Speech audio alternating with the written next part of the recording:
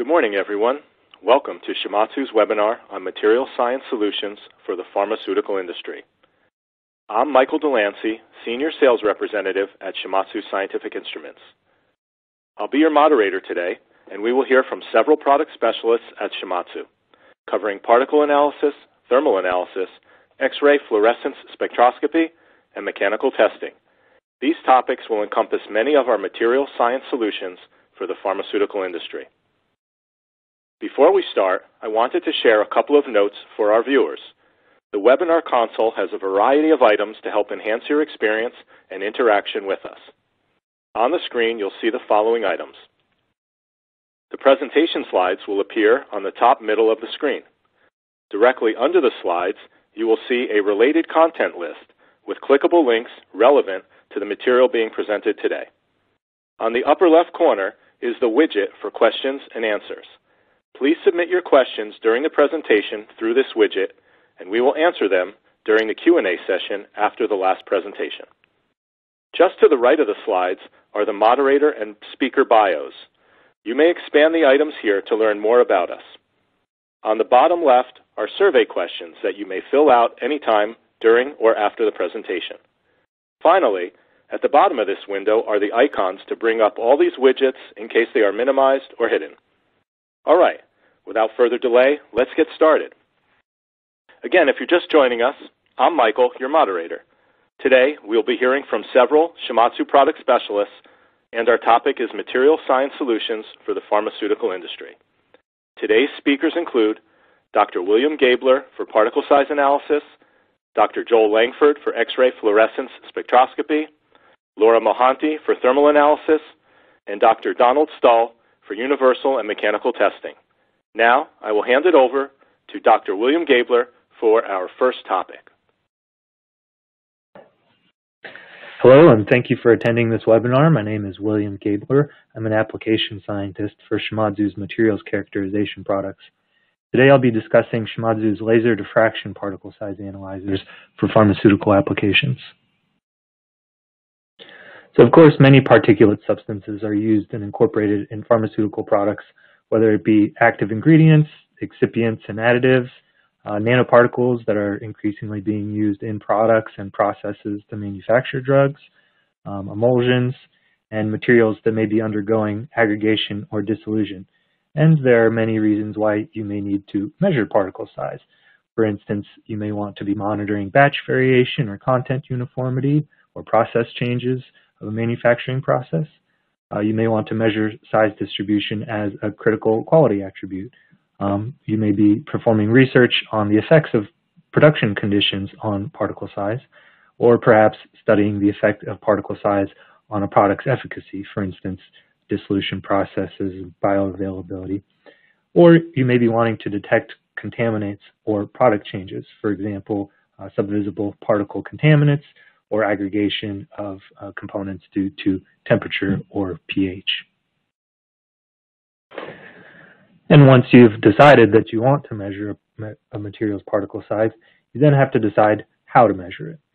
There are many different methods available, which I've listed in the bullets on the left, um, and it's important to understand that all of these methods work differently, and as a result, each method has different trade-offs and capabilities in what they can measure. So when you're considering a particle sizing technique, you should ask yourself uh, a few questions. Specifically, what's the size range you need to measure? What kind of accuracy does the method have? What sample preparation is required? And in what state does the material have to be in to be measured? And how convenient or fast is the method? Additionally, do you need to measure particle size only or uh, other particle features such as the concentration of particles or perhaps shape or um, composition of the particles present? Today I'll be focusing on primarily laser diffraction techniques as it's one of the fastest and most convenient ways to get accurate size distributions. I'll quickly explain the principle of how it works and discuss its inclusion in several USP standards, then give an overview of Shimadzu's product line of particle sizing instruments. Here's a schematic of a typical laser diffraction system, which is also called static light scattering. If we pass particles, or say droplets in an emulsion, through the path of a laser beam, the light will interact with the surface of the particles and diffract refract and reflect off the surface, causing a scattering pattern, which takes the form of a series of concentric circles of light. The light intensity can be measured by an array of photodetectors positioned in front of and to the side and back of the particles to collect a light intensity distribution. The scattering pattern is related to the size of the particles and the refractive index of the material. Through the principles of something called Mie theory and the Fraunhofer equation, the light intensities detected by the sensor can be related to a particle size distribution through calculations. In the top left, you'll see an image where the red lobe represents the theoretical light scattered light pattern for a 1 micron particle. In the bottom, you see the wing sensor used in Shimadzu's laser diffraction analyzers, which is made of an array of sensors starting at the point and extending out to the wings. When the scattered light is projected onto the array, we get a distribution of light related to the angle of scattering. As I said, particles of a given size and refractive index yield a unique curve of scattered intensity versus angle. The smaller particles tend to scatter at higher angles and larger particles tend to scatter at lower angles. The particle size software can then relate that light intensity to the intensity that would be caused by a distribution of spherical particles of equivalent volume and this produces a particle size distribution along with values such as mean, median, mode, and uh, cumulative and differential distributions, which are the percentage of uh, particles at or below a certain size and the percentage of particles within a certain size range. Laser diffraction has several advantages over other sizing methods. First, it's extremely fast. Shimadzu instruments can take measurements as fast as one second. This also allows the ability of making continuous measurements of a particle uh, size distribution if it were to change over time due to different conditions. It can also measure an extremely wide dynamic range from tens of nanometers to several millimeters. It shows high repeatability, and you can potentially sample very large sample sizes, which provide more representative distributions. And it's also very versatile various dispersion methods, essentially any way that you can get the particles within the path of the laser, whether they be uh, dispersed in a liquid or um, dry, pass through an air, or even in high concentrations. Laser diffraction has two dedicated standards, ISO 13320 and USP 429, which I'll discuss in a little more detail in the next slide. These provide basic definitions and guidelines for using laser diffraction as a particle sizing method, and thus can apply to any application within the pharmaceutical industry to help ensure best practices and uniform data reporting. Laser diffraction is also mentioned in USP 729, globule size distributions in lipid injectables, which states that the particle size of globules and injectables used in total parenteral nutrition therapy must be measured and limited to be below a certain size for safety reasons. While particle size is not a primary method in the next three standards, it may be a useful complementary method to provide quick estimates of particle size distributions for screening or additional information. USP 788, 787, and 789 all relate to the monitoring and identification of particulate matter or contaminants in pharmaceuticals, namely injections and ophthalmic solutions. They require single particle counting techniques such as light obscuration or flow imaging and require the measurement of the number of particles within various size ranges. USP 429 and ISO 13320, which is very similar, provide guidance on performing a particle size measurement. 429 starts with the basic definition and principle of operation of a laser diffraction system, then discusses various factors relating to sampling, dispersion, and measurement procedures. For instance, particles must be dispersed without causing aggregation or comminution. A liquid dispersant should not interfere with the measurement or dissolve the particles and should be free from uh, bubbles. The addition of dispersants such as wetting agents may be required. The particles must be in a concentration that is high enough to get sufficient scattering, but not so high as to cause excess absorption or secondary scattering. Good preparation methods should result in stable and repeatable measurements. Finally, it discusses system suitability and reporting. As I mentioned previously, two of the main parameters often reported from laser diffraction systems are mean particle size the volume-based cumulative percentile sizes, represented by a D subscript or X subscript, which represents the particle size in relation to which X percent of the distribution is smaller. For instance, a D90 of 20 microns would mean that 90% of the particles in a distribution are at or below 20 microns. Various repeatability and accuracy criteria can be established. The standard suggests for the measurement of a central value, mean or median, the coefficient of variation should be less than 10%, and 15, less than 15% for values at the edge of a distribution, such as the D10 or D90, though these requirements will vary depending on the characteristics of the material. Since laser diffraction systems are based on physical uh, principles, they're not calibrated per se with external standards, but their operation can be checked and qualified with standardized reference standards. It's recommended that a standard with a known distribution is checked and the D50 does not exceed the known value range by 3%, and the D10 and D90 do not exceed by 5%. It's also acceptable to use a control material that's been measured in the past to check for changes from those established values. Finally, it's also important to know that for particles below 25 microns, the selection of the refractive index values will have a great impact on the accuracy of the reported uh, distribution. So additional steps may be required to determine refractive index and absorption properties of a material um, that's being measured for the first time. Shimadzu makes two laser diffraction particle size analyzers for the pharmaceutical industry. The SALD 2300 is our most versatile instrument and can measure from 17 nanometers to 2300 microns.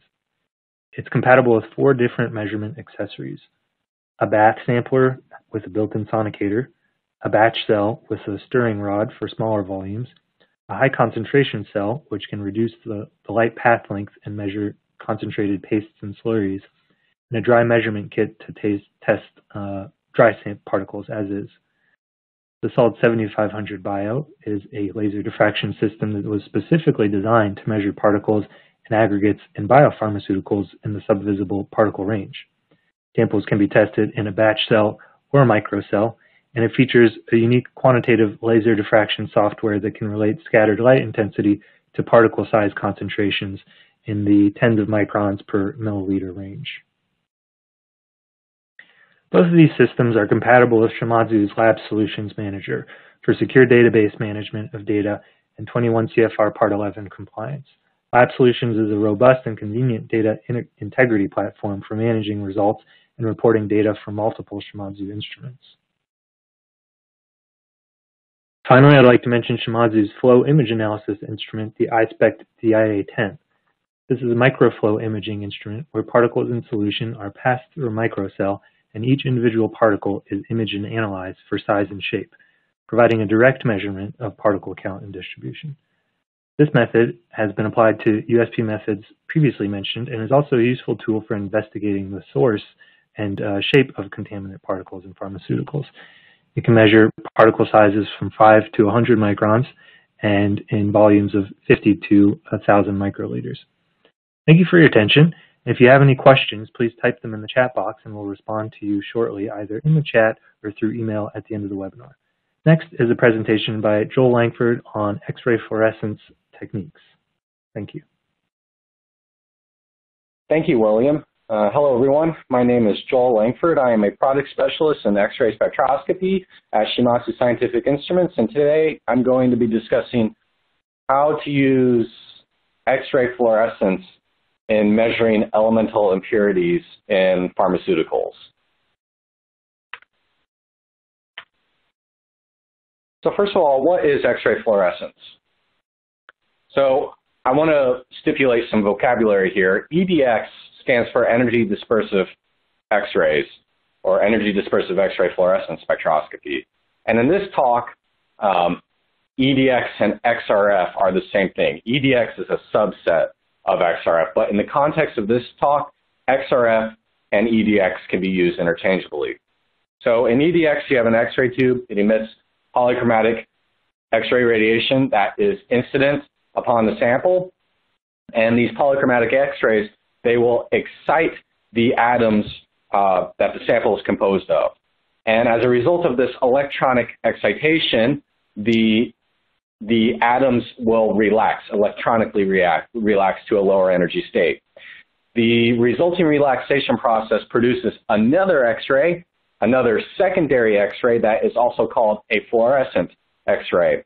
Now, the fluorescent X-ray energy is dependent or is characteristic upon which atom it came from. So for example, there is a characteristic fluorescent X-ray for aluminum, for chromium, for lead, and for the rest of the elements.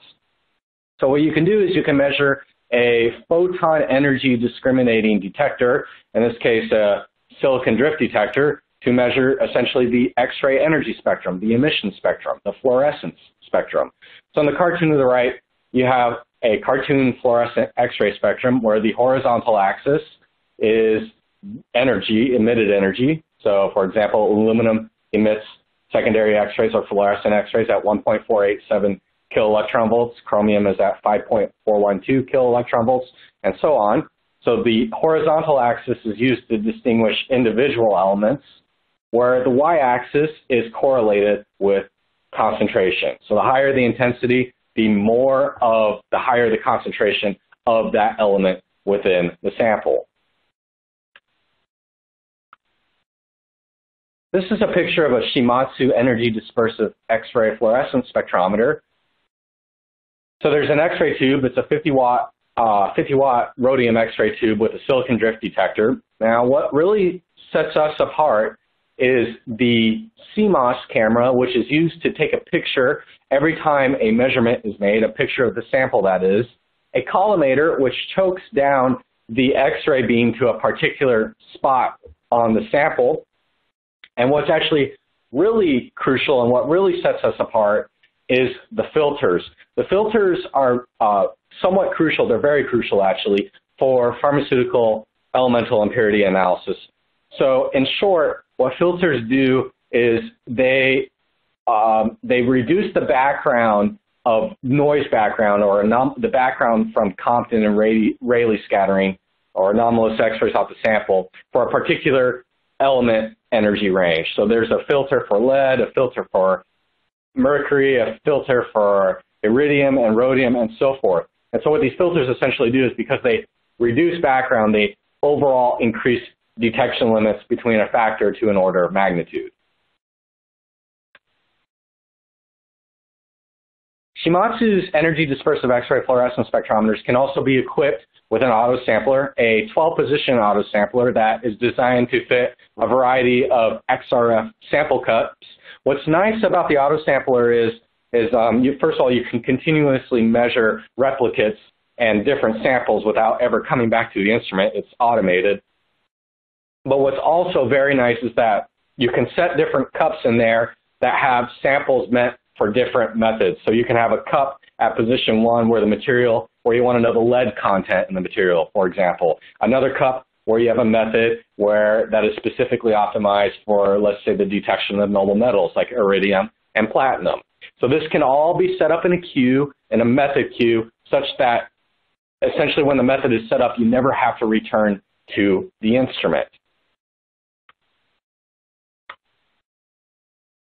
What you see here is a periodic table of the elements, and the, the standard EDX spectrometer uh, for Shimadzu is called the EDX 7000, which can measure an element range from, on the periodic table from sodium to uranium. Now, in general, the lighter the element, the higher the detection limit, or the lower the sensitivity is that the, EDX, that the EDX is towards that particular element. So, for example, sodium has a detection limit of nominally around 100 ppm, uh, whereas the heavier elements like mercury and lead have detection limits that are oftentimes below one part per million. What you see here is another periodic table. Now, this periodic table highlights the elements that are oftentimes, uh, how is the best way to put it? These are elements that are of particular interest as elemental impurities in pharmaceutical products and, for example, APIs. And so these are the elements specified by the International Center for Harmonization Q3D guidelines. They're the class one elements, uh, notorious, sometimes notoriously called the big four. These are things like lead, mercury, cadmium, and uh, arsenic. There's the class two elements, uh, that are more like the noble metals, oftentimes used in organometallic uh, catalysts, for example, rhodium, palladium, platinum, and so forth. all the elements can be detected by the EDX, barred the class 3 element lithium.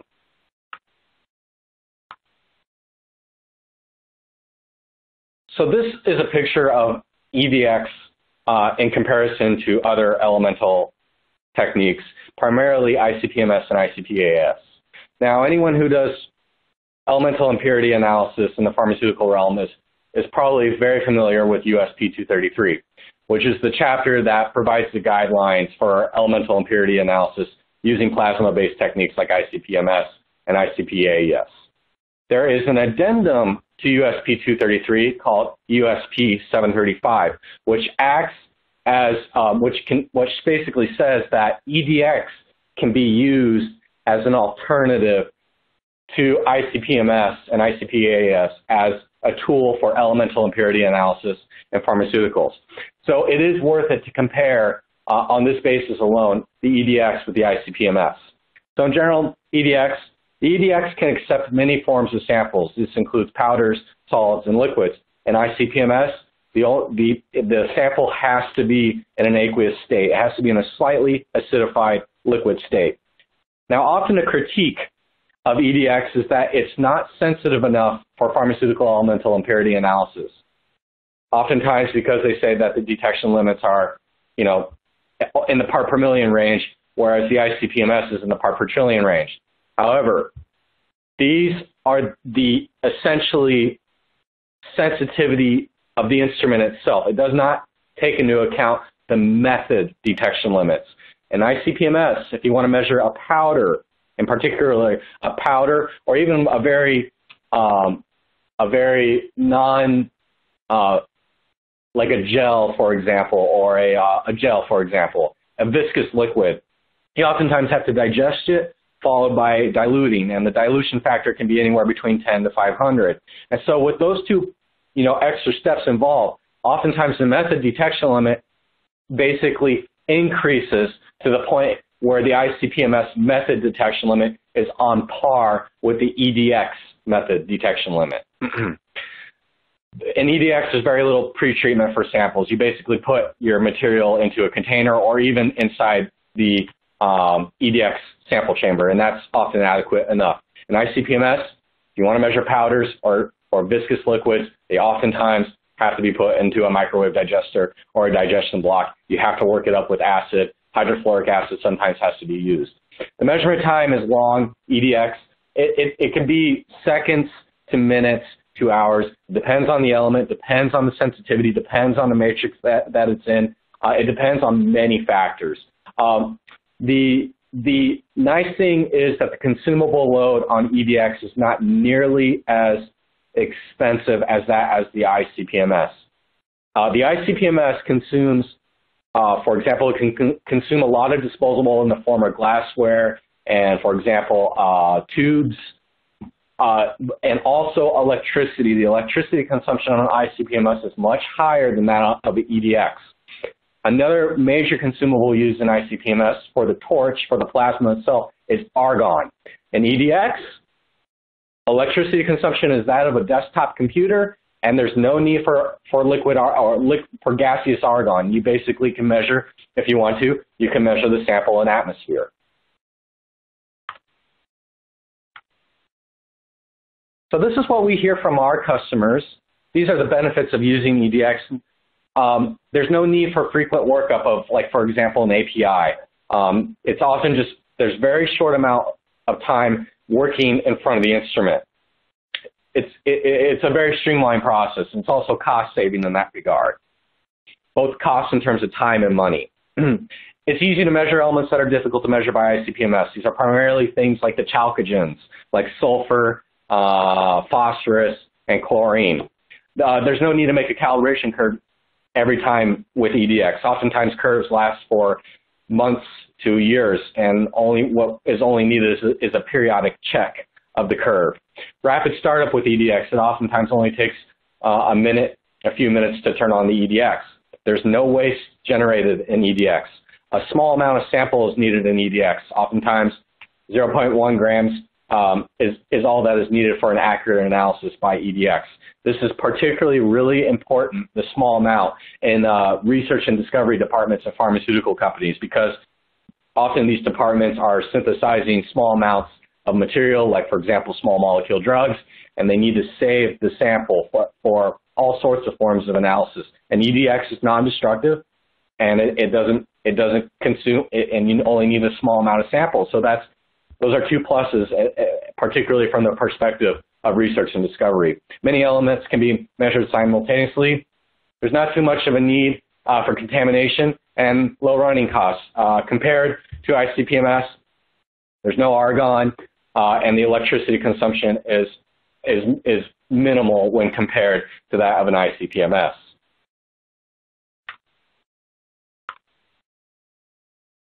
This slide shows a general workup of um, how a powder sample like an API would be analyzed using uh, an energy dispersive X-ray fluorescence spectrometer. So you have the powder. You can put the powder directly into a cup and basically put the cup directly onto the sample turret. And provided that the software, the method in the software has been made, for example, a method for lead or a method for cadmium um, or a method for the big four or whatever, provided that that method has been made, you can all you have to do is essentially hit the start button. And um, this process, especially compared to other techniques, the aforementioned techniques, uh, is it's a very streamlined process. Anyone can basically do it, provided that the method has been made, and it saves a lot of cost, it, uh, particularly in terms of consumable content and um, and and other and other aspects.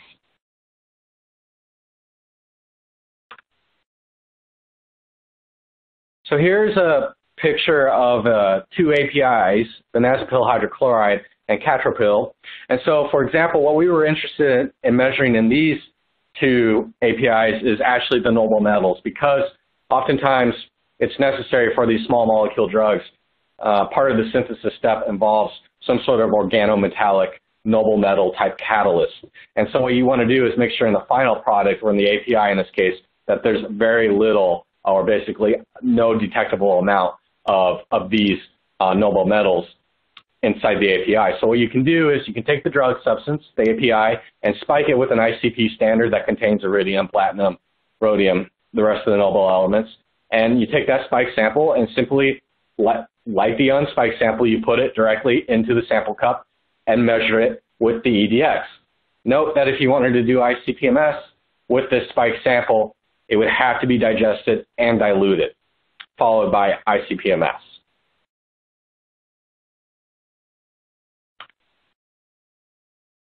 Here's a table that compares the correlation between EDX and ICP-MS. Now, first of all, I want to mention that this comes from an application note and a white paper, and um, that goes into more detail with regards to the method development and uh, some of the data analysis and so forth. So if you're interested in that white paper or that application note, please get into contact with either myself or your nearest Shimadzu representative, and we'll be happy to provide the white paper and application note. I also want to mention that in this white paper and application note, this, this table compares only the class two elements. However, in the white note, we also compare the big four, the class one elements, the lead, mercury, arsenic, uh, and cadmium. So for both of the APIs, the correlation between the EDX and the ICP-MS is very high. It's basically to within the ppm level. There's a high degree of agreeability or correlation between the EDX and the ICP-MS method.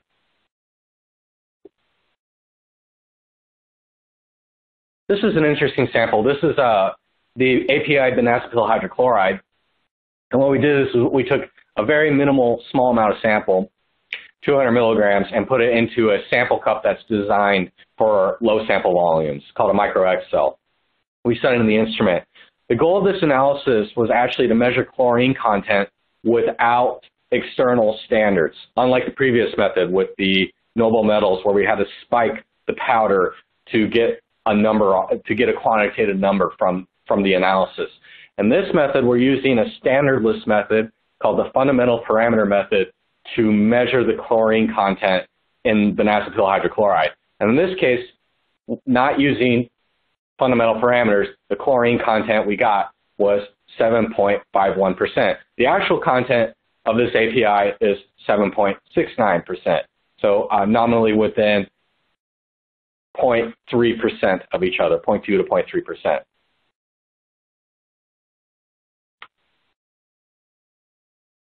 This is a table that shows chlorine content analysis done using the standardless fundamental parameter method and various APIs. So what the green, the green columns are, sorry, the green rows are, they are the quantitative values measured by the EDX without using standards. So for example, benazepril hydrochloride has an actual value of 7.69%, whereas the um, value measured by the EDX is 7.51%, and the rest of the APIs. So this method um, nominally gives you a value of an accuracy or basically the degree of difference between the actual value and the quantitative value determined by the EDX is within a percent. Uh, this can be useful as a screening tool, for example, or like some sort of QA protocol where if you have if you're on a if you're checking uh, some sort of API, for example, the chlorine content, and if it's um, if it's too high or too low, you can use a more uh, a more precise method that, for example, involves the use of standards, a standard calibration curve with EDX uh, to to verify the the not passing sample, the too high or too low, for example, in chlorine content API. With the EDX, we offer a variety of accessories that are curtailed for pharmaceutical analysis. One of them is called, maybe redundantly speaking, it's called the Pharmaceutical Impurities Analysis Method Package. What this is, is it's a, um, a, it's a software suite that comes with methods that are curtailed, that are optimized for the detection and quantification of class 1 and class 2 elements that are specified by the ICH Q3D guidelines. This is nice to have because oftentimes it will bypass a lot of, in this case, method development. We even have, um, with one of our partners that's SPEX sample prep, they even provide standards, calibration standards um, that can be used in conjunction with this pharmaceutical impurity analysis method package. Our EDX systems can also be um, combined with Shimadzu's Lab Solutions DBCS software suite. So this is necessary to obtain 21 CFR Part 11 compliance, which our EDX system can do. This, these will, this compliance is necessary for uh, laboratories and sites that require some degree of traceability, data security, uh, validation, PDF output, and so forth. So in essence, our, our, our, our EDX can be, can be combined with lab solutions to make the system 21 CFR Part 11 compliant. I leave with this back note that the importance of elemental impurity control in medicines is increasing against the backdrop of the release of ICH Q3D guidelines. Shimadzu's EDX systems offer a simple and fast solution for elemental analysis of medicines in accordance with these guidelines. Thank you for your time, and I'm going to hand it off to Laura Mahanti, who will be discussing using thermal analysis techniques on materials that are relevant for the pharmaceutical industry. Thank you. Thank you, Joel. Hi, everyone. My name is Laura Mahanti. I'm a technical support engineer for Shimadzu Scientific Instruments, and today I will be talking about thermal analysis instruments for pharmaceutical applications using the DSC and the TGA. So this presentation for the outline will include a brief introduction to thermal analysis in plastics packaging and its role in pharmaceuticals. Then we will discuss polymers and the different types of polymers used in thermal analysis testing. And then we will focus on USP 661.1, which is thermal analysis methods for specific materials and packaging. Followed by that, we will go over lots of examples with DSC and TGA, which include finding the melting temperature of aspirin, and interactions with different types of drugs, followed by glass transitions and melting temperature of glucose aqueous solution. And then we will go over material identification example between LDPE and HDPE, as well as molecular weight, um, finding the molecular weight changes for polyethylene glycol, or PEG. And then for TGA, we'll discuss a few weight loss examples with TGA. And then for the last example, we will discuss predicting weight loss using TGA um, using various decomposition rates. Followed by that will be Lab Solutions discussion, which is a software which is used in integration with our instruments. And so there are three different versions of Lab Solutions, and they have different features. So we will discuss those and compare those, followed by a summary of this presentation.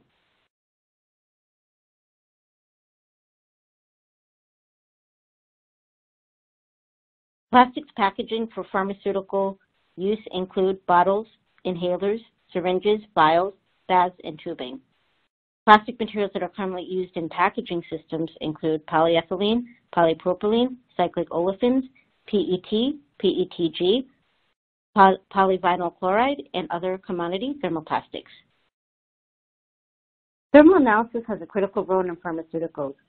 Drug products can chemically interact with packaging materials and components of construction while the product is being manufactured, shipped, stored, or administered. And because these pharmaceutical drugs contain API or active pharmaceutical ingredients, these interactions with packaging material are going to be inevitable. However, these interactions must not adversely affect the efficiency of the drug product or the packaging system. Any adverse interactions can compromise patient safety. Thermal analysis is one characterization technique used to verify drug product performance and packaging performance. There are many different types of tested polymers used in thermal analysis, and some examples include ABS, nylon, PTFE, polyethylene, PET, polypropylene, and PVC. Um, various types of commodity thermoplastics and thermosets are tested.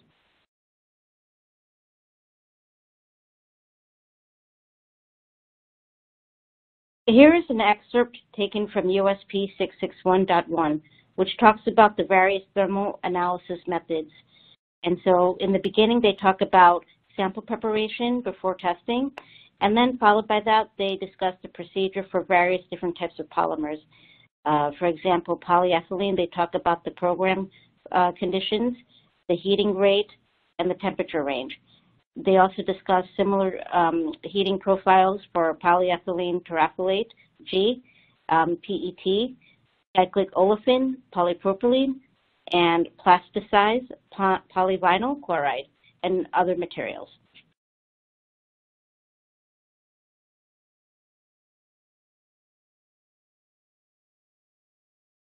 We talked about the different types of polymers tested using thermal analysis and its role in pharmaceuticals. So now we'll be discussing the instrumentation. And so one instrumentation is the differential scanning calorimetry or the DSC. And it's a DSC is a thermal analysis technique used to measure difference in heat flow when it undergoes temperature change to, and we can obtain information on glass transitions, melting, percent crystallinity of thermoplastics, degree of cure of thermosets, purity analysis, material identification, solvent determination, and polymorphism. Here's the most common application for DSC in measuring melting temperature. So here's a melting of aspirin. And as we can see here, melting is usually taken as the onset. So the onset of melting in this case is 135.9 C for aspirin.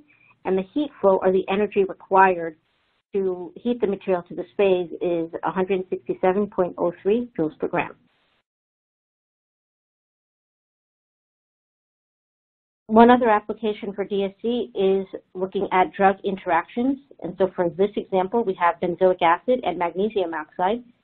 Magnesium oxide alone, as you can see, is a flat baseline. There is nothing on the thermogram that shows any reaction. However, with benzoic acid, we see that there is a melting temperature, onset of melting around 122.7 C. When you combine a one-to-one ratio of MgO and benzoic acid, we do get a exothermic event, and we also get a peak at 111.5 C.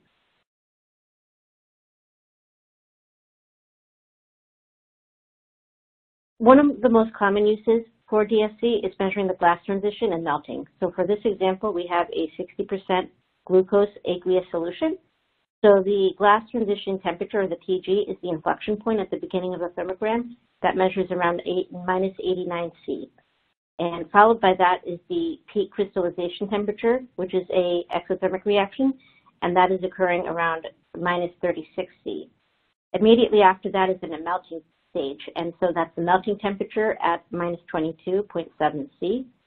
The fact that you have the heat of fusion of both crystallization and melting that are similar to each other and very close to each other shows that there was a very quick sample transformation that went from a crystalline state to an amorphous state. Another use for DSC is material identification. So for this example, we have two polymers. We have LDPE and HDPE, and we can use those as an overlay of the thermogram to find the melting temperature and identify the thermoplastic. So you can see here that HDPE has the higher glass transition and melting temperature compared to LDPE. Here's an example of molecular weight for polyethylene glycol. As you can see, as the molecular weight increases, the melting temperature also increases. And that's because as you increase the molecular weight of a polymer, you create more entanglements in the polymer chain. And if you increase um, the entanglements, you block segmental motion, so you're increasing the glass transition temperature, or the TG, and therefore you're also increasing the melting temperature. We discussed some examples of DSC, and now we'll talk about thermogravimetric analysis, or TGA. TGA is a thermal analysis technique that measures weight loss as a function of temperature and time. Some examples of what TGA measures include weight loss, determination of degradation temperature prior to running a DSC, material identification, oxidation studies, and measuring activation energy. TGA is often used to investigate dehydration or decomposition processes of the compound. It provides also useful information on sample drying at fixed temperature. The measurements can be carried out in controlled atmosphere to reveal interactions with drug substances and or active substances and excipients or packaging materials. Most important, TGA is useful because it's often used before a DSC to determine the maximum temperature at which the DSC can operate. So for example, if you have an unknown material before running a DSC, you can run a TGA on it, find out where the material starts to degrade, and then use that temperature to use as a um, maximum temperature range for a DSC because you cannot use a DSC to degrade a material because that can ruin the cell. So very often for unknown materials, you can use a TGA first. Here's an example of sodium tartrate weight loss. We can see here there's weight loss in two stages. The first is a 15% weight loss, which indicates desorption of water molecules. And then there's a second weight loss, which is around 240 C, and that shows the decomposition of the material.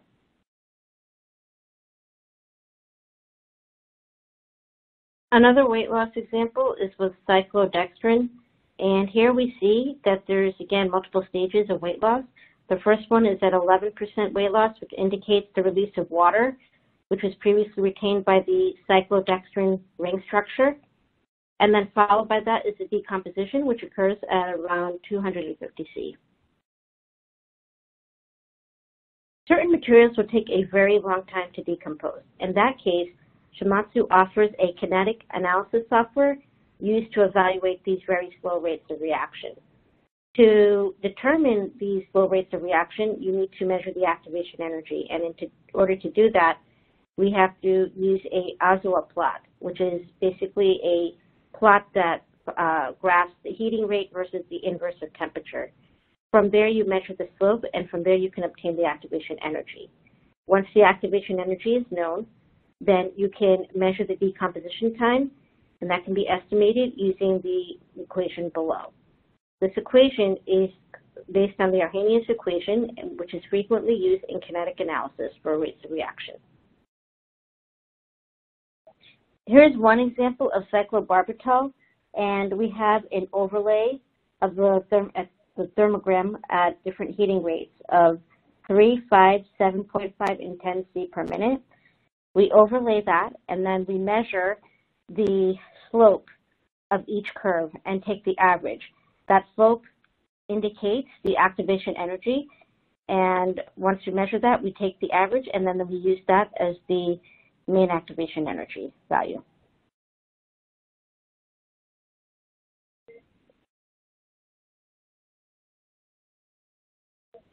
Once we measure the average activation energy based on the different heating rates, we can use the formula and plug it in and find that at 30 C, the material will decompose at 20% in 421 years.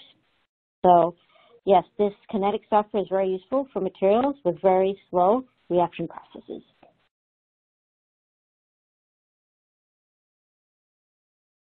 We showed some examples of DSC and TGA and their different applications. So now we are going to discuss the Lab Solutions software, which is used with the thermal analysis instruments. And that is Lab Solutions TA, DB, and CS. Lab Solutions has many benefits, particularly in the pharma industry. It is compatible with ER/ES regulations such as FDA 21, CFR Part 11 compliance, as well as other GMP regulations. Its customized security features can now be integrated with thermal instruments. Audit trails ensure traceability and the ability to connect to multiple instruments and check the status at one time. Automatic analysis and report preparation can be performed by configuring the template in the acquisition program prior to the test. Lab Solutions TA is the most basic software that we have for Lab Solutions, and that has um, basically one PC connected to multiple different instruments. The data files are saved and managed in a folder on the PC, and there is no user management. The software is recommended for people who would prefer the same method as before, and for people who use the system only occasionally. We, there is an improved interface which allows for easier accessibility between instruments.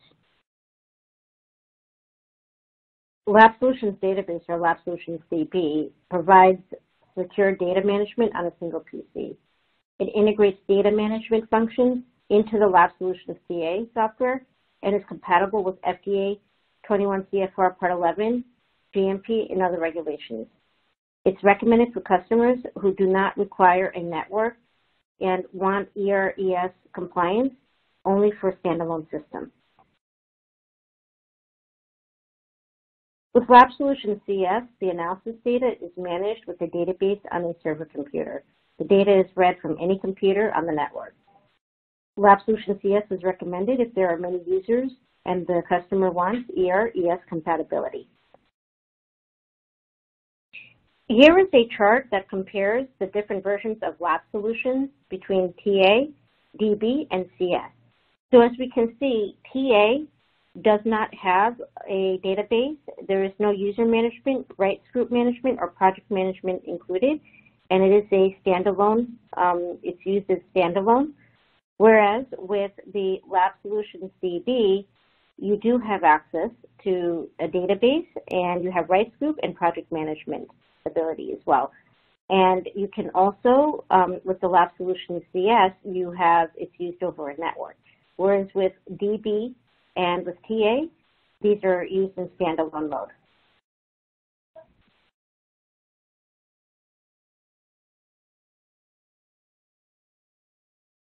So to summarize, we talked about DSC and TGA, which are thermal analysis techniques used to characterize drug products and associated packaging materials.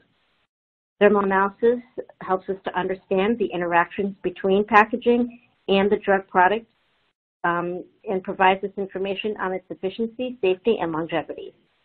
When we test for unknown materials, we can use TGA before a DSC because TGA determines the decomposition, and we can use that information of decomposition to set parameters for a DSC. And then last, we talked about Lab Solutions, which offers an array of options based on customer requirements.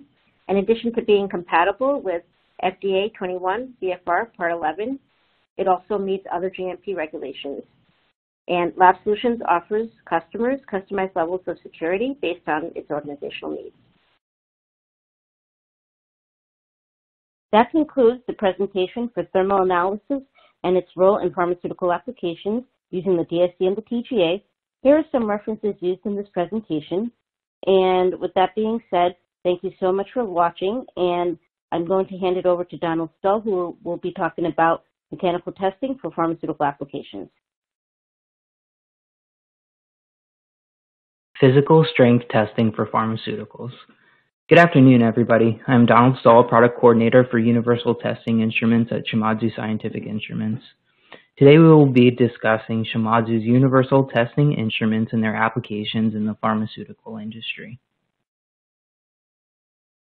Most people are aware that the pharmaceuticals industry is very heavily regulated, and we all expect that the pharmaceuticals are tested for purity, contaminants, composition, etc. However, people are generally less aware that mechanical tests are conducted to confirm the physical characteristics of these products. Nevertheless, it is expected that these products will perform exactly as they are intended. Imagine a hypodermic needle breaking during an injection, or a nurse straining with all of her might to depress a syringe. Imagine an impenetrable injection vial. Imagine your prescription capsules arriving broken or crushed. At the very least, this will incept doubt about the product into a consumer. However, these failures or defects could lead to costly recalls, investigations, etc., etc. The good news is that testing the physical characteristics of pharmaceuticals, drug delivery systems, and medical devices is relatively straightforward. Testing can occur at the developmental stages or post-production for quality assurance purposes. With the right universal testing instrument, you can test according to specific standards and evaluate your products for conformity. So here on the right, we have a few examples illustrating tests for tablets, capsules, needles, and syringes. The universal testing instrument measures force as a function of displacement. From that data, we can make calculations and interpretations to quantify the physical characteristics of these products. So let's look a bit deeper at these examples. This first example is a tablet compression test. In this method, a tablet is placed between two plates and compressed at a constant rate of speed until it fractures. The force versus displacement plot on the right shows the results. You will notice a rise in force, a peak, and a drop in force.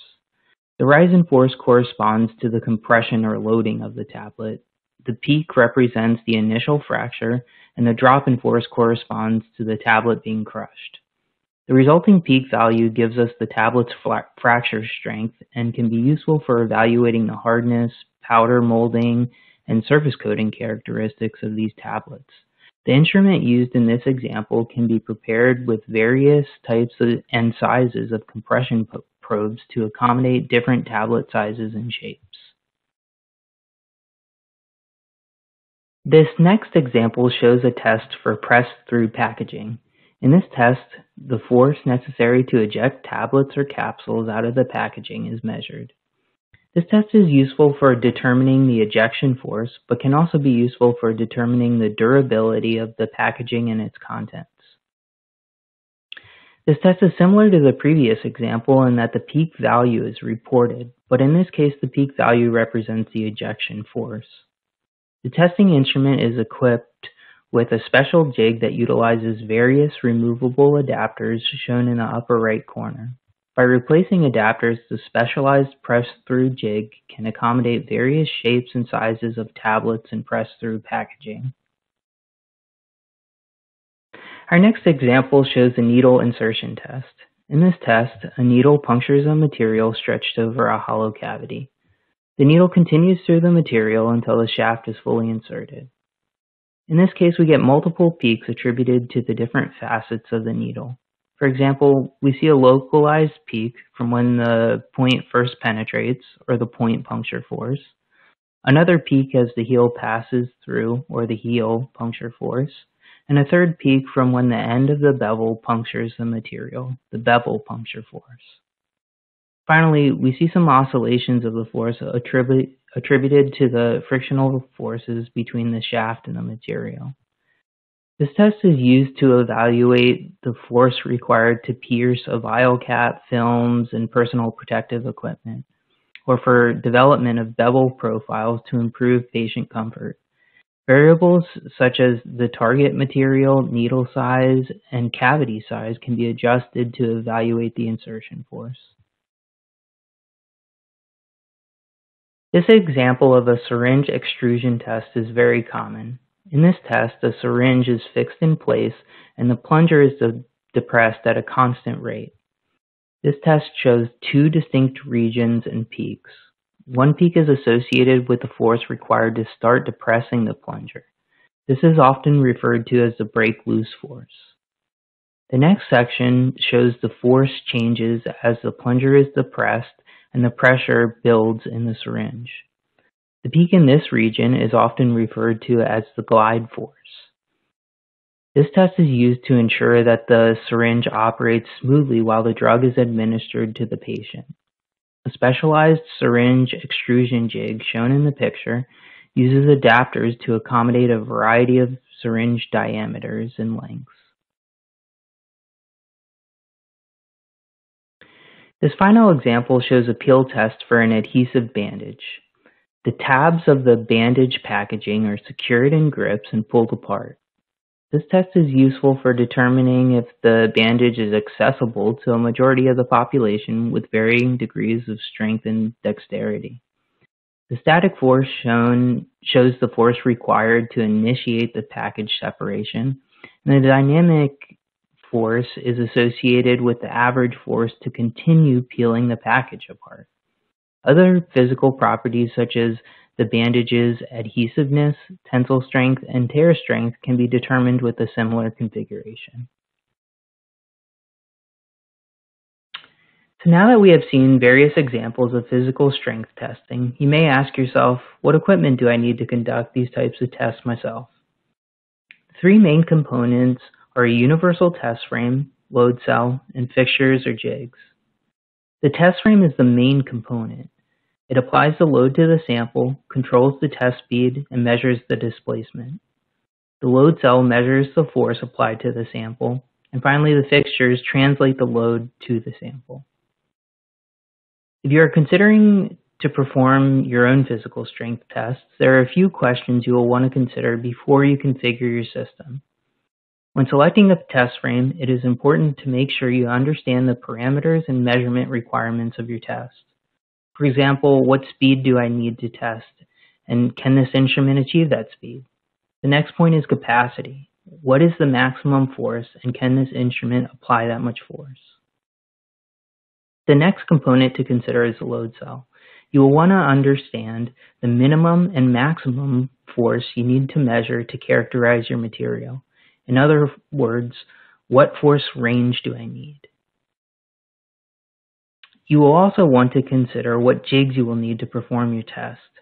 The jigs ensure that you are applying the load in a way that generates meaningful data, so you should ask yourself, what specific test do I need to perform?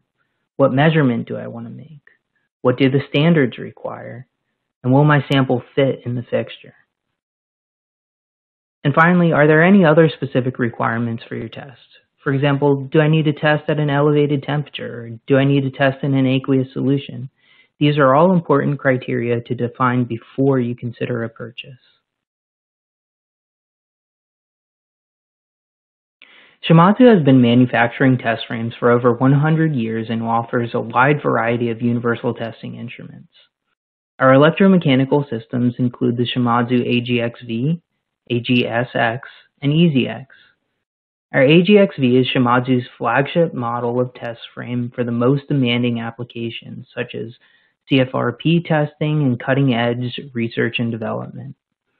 The AGSX is Shimadzu's economical test frame designed for routine analysis. And finally, the EasyX is Shimadzu's compact, low-capacity test frame best suited for testing pharmaceuticals and medical devices. The EasyX series is available in three varieties, the EasySX, EasyLX, and EasyLX High Speed. The EasySX and EasyLX are virtually identical except for the span and capacity. The EasySX has a maximum span of 500 millimeters and a maximum capacity of 500 newtons.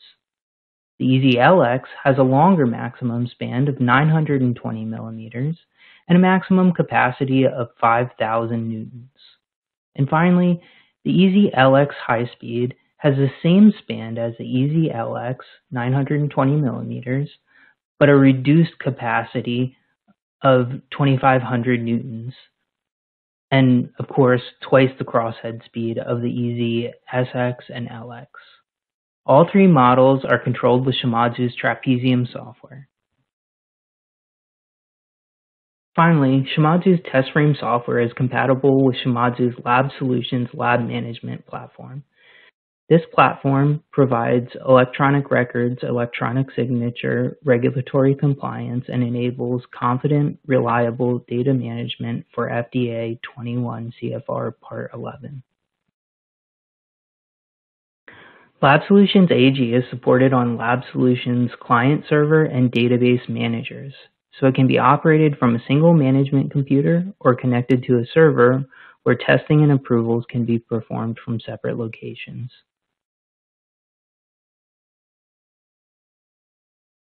Let's thank each of our speakers for an informative presentation.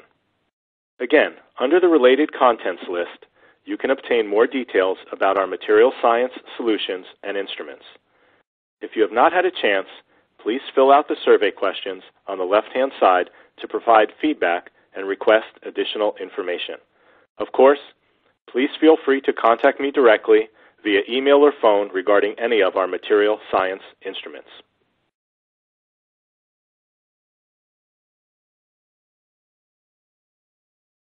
Okay, thank you all again for excellent presentations. At this time, uh, we will begin our Q&A session. Thank you to the audience for attending and for sending in some great questions. We have time for a few questions. Um, here's a good one. I'm going to address this one to, uh, to Joel for it's an EDX question. Uh, what are some typical measuring times for EDX analysis?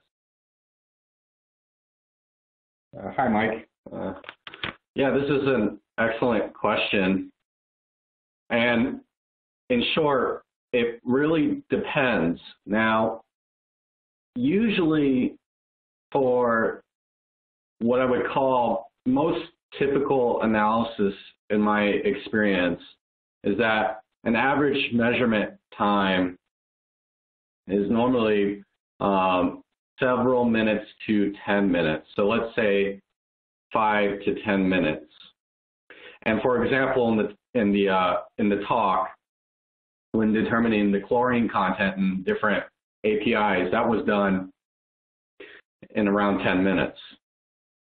For the USP 233-735 application, elemental impurity analysis in pharmaceutical products, those guidelines are very, um, how to say it, specific and even to some extent stringent. And the reason is, is that the limit of quantification or the limit of detection is has to be very uh, low.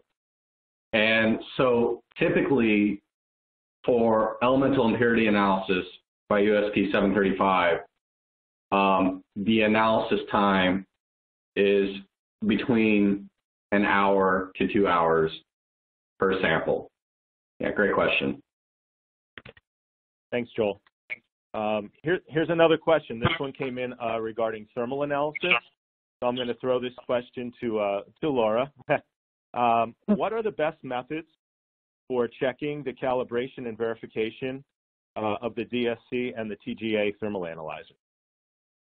That's an excellent question, Mike. So for the DSC, you would have to verify the heat flow. And so typically um, for that, you would use an indium standard, which is very common um, to verify that. And so for the DSC, you can also measure any type of standard. You can use that with the very high metal content that's like 99.9% pure, like tin or zinc. Um, depending on what standards you use will depend on the temperature range of what your application is. So if you're testing at a higher temperature range on a DSC, you might want to use a standard at a higher temperature. Um, and those are readily available. And also for the TGA, typically mass is verified through um, calcium oxalate to verify uh, mass loss. And then also for the TGA to verify temperature, um, we have nickel standards to use to measure the Curie point of nickel. So those are some examples that you can use on the DSC and TGA. Thanks, Laura. Um, okay, here's another good question. This one I'm going to address to uh, William for uh, particle size analysis.